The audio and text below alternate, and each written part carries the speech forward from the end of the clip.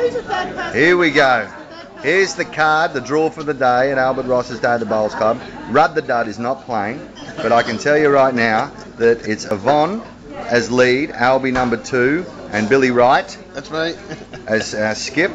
Pat Potts, one of the uh, legends of the club, versus Tom from Merthyr, and Ron, who's an absolute diamond himself, as skip for the bad guys team. Oh, the bad may, guys. May it be a good guys victory, and uh, the weather held up, and the good guys win. Here's to the good guys. Here's to the good guys.